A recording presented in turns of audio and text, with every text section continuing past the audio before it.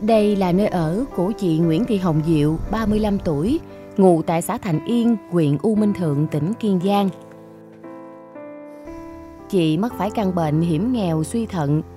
Những năm gần đây, sức khỏe của chị ngày càng suy yếu, khiến cho chị Diệu không còn khả năng lao động được nữa. Chồng đi làm mướn ở xa, chị Diệu và con gái sống chung với cha mẹ ruột trong một căn chòi nhỏ ở nhờ trên mảnh đất của bà con. Số tiền chồng chị chu cấp về cũng không thấm vào đâu để chị vừa lo bệnh tật vừa nuôi con. Cuộc sống của chị Diệu và con gái còn ở tuổi ăn tuổi học, giờ đây chủ yếu nương tựa vào ông bà ngoại.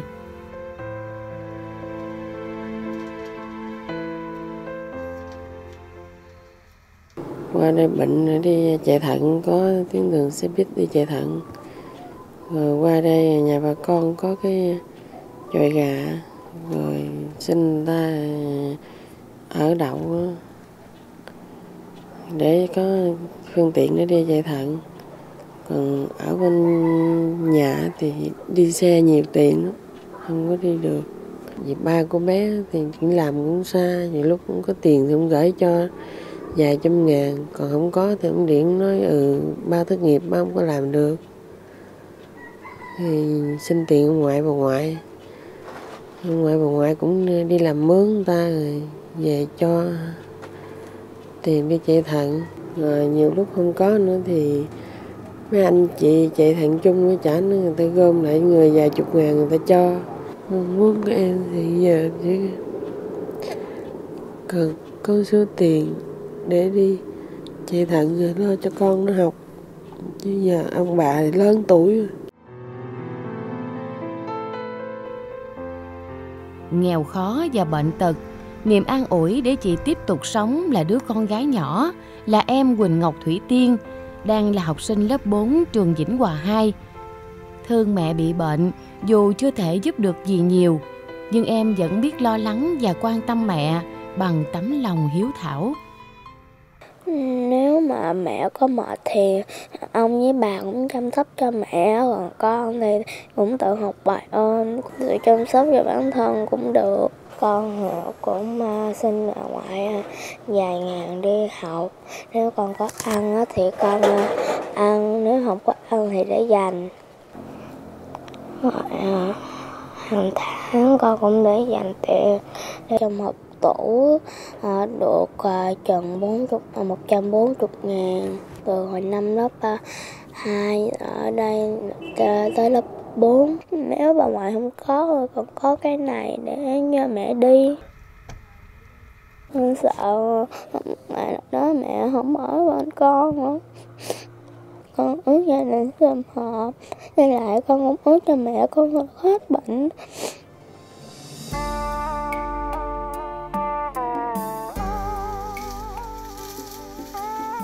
Lòng chị không khỏi xót xa. Mỗi khi nghĩ đến cha mẹ già từng ngày làm thuê, bươn chải, lo cho chị có tiền đi chạy thận và giúp chị nuôi con. Từ khi chị diệu trở bệnh, có lẽ mọi gánh nặng đều chồng chất lên đôi vai của ông bà. Dù vậy, vợ chồng ông nguyễn thanh hùng và bà văn thị dân vẫn miệt mài lao động để lo cho con cháu, dù số tiền ít ỏi ông bà kiếm được cũng không thấm vào đâu. Tôi ờ, đi mừng mướn người ta kêu ờ, đi làm gì thì làm cái đó. Đi đúng mía để kiếm ngày trăm năm mấy chục ngàn gom lại vài bữa để cho con đi chạy thận. Còn sinh hoạt đi nghỉ thì đi kiếm văn lưới đặt lò đặt lợp thêm. Kiếm ờ, bán cá rồi kiếm ờ, năm ba chục ngàn nữa để xây xài trong nhà tôi thấy con nó bệnh hoạn gì tôi, vợ chồng cũng mừng. Chứ không có than cực khổ để à, lo cho con, sợ con nó buồn. Tôi với ông tôi thì vậy đó.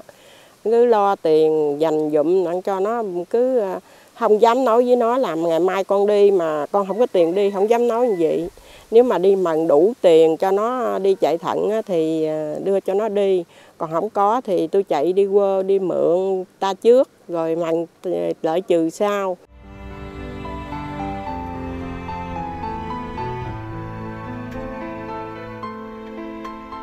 Cứ mỗi lần đi chạy thận chị lại mang theo những bó xả như thế này đó là những gì mà cha mẹ chị chắc chiêu kiếm được để cho con mình có thêm chút tiền trong những chuyến đi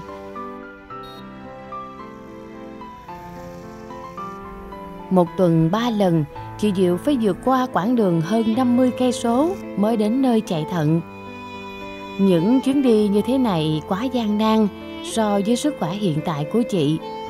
Thế nhưng đó không chỉ là sự cố gắng xuất phát từ tình thương của gia đình, mà còn là nghị lực để chị Diệu đi tìm sự sống của chính mình và tiếp tục nuôi con.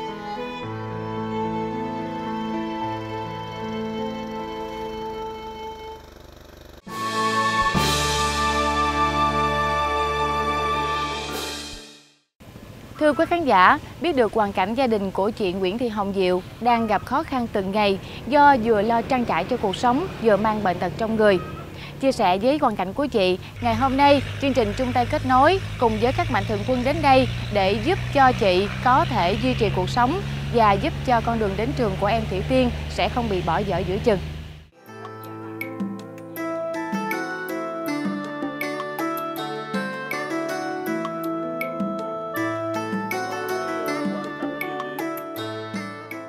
À, ngày hôm nay chương trình chung tay kết nối đến thăm gia đình của mình à, đi cùng với đoàn thì có ông Bùi Văn Hai là phó chủ tịch hội hỗ trợ người nghèo Tây Nam Bộ đại diện cho tổng công ty cổ phần bia rượu nước giải khát Sài Gòn. Xin được giới thiệu chị Nguyễn Thị Thuận An. Cùng với đại diện chính quyền à, địa phương và cũng như là bà con hàng xóm của mình đến đây để thăm chị và sau đây thì à, xin được à, kính mời ông Bùi Văn Hai, Phó Chủ tịch Hội hỗ trợ người nghèo Tây Nam Bộ và đại diện cho Tổng công ty cổ phần bia rượu nước giải khát Sài Gòn chị Nguyễn Thị Thuận An sẽ trao số tiền là 20 triệu đồng đến gia đình của chị.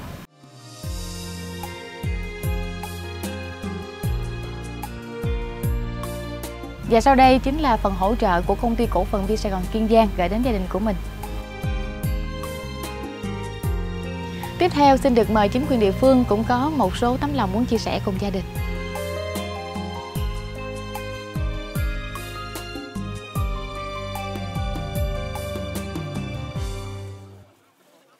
Dạ em cái số tiền này để ờ, lo cho con nó đi học. Dạ, em đi chạy thận để sống kéo dài cuộc sống sống với con em. Dạ, em cảm ơn hội người nghèo của tây nam bộ và bia sài gòn. Dạ, cảm ơn chính quyền địa phương và các thầy cô giáo.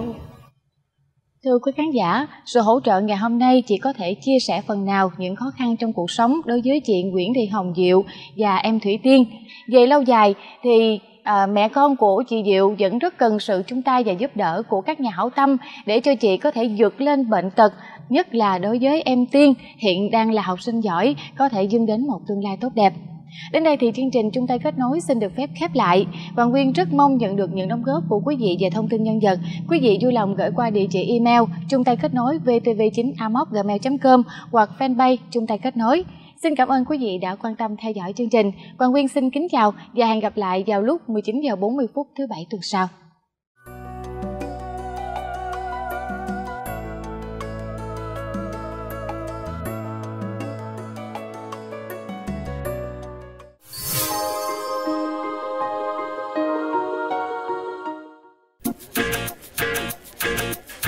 Em yêu anh.